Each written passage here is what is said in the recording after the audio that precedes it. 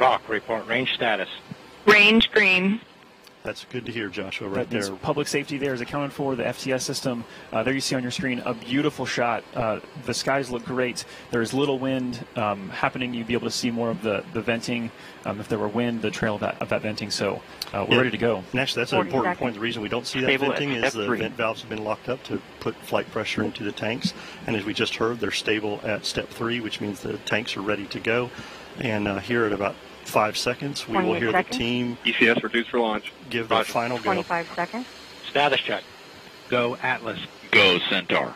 Go Mars 2020. There we go. We are ready to go lift off this morning, Joshua.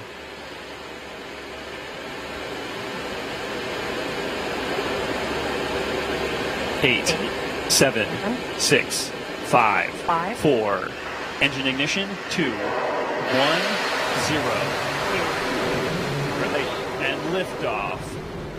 As the countdown to Mars continues, the perseverance of humanity launching the next generation of robotic explorers to the red planet.